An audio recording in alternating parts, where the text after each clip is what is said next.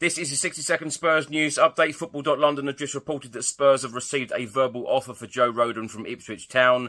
Nothing formal or submitted in writing as yet. Leicester and Leeds are also interested. La Gazzetta dello Sport uh, from Italy have stated that Real Madrid have entered the race to sign Bologna defender and Spurs target Ricardo Calafiori. Fabrizio Romano has stated that Arsenal are interested in Ricardo Calafiori and Bologna expect Premier League clubs to jump into a race for the defender's signature.